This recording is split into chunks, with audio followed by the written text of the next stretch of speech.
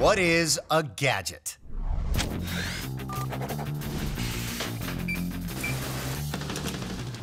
A gadget is something that you can pick up in your hands that gives you some kind of capability you didn't have before.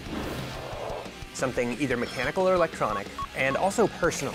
You yourself have a relationship with it. Gadgets these days define us. Gadgets make life better.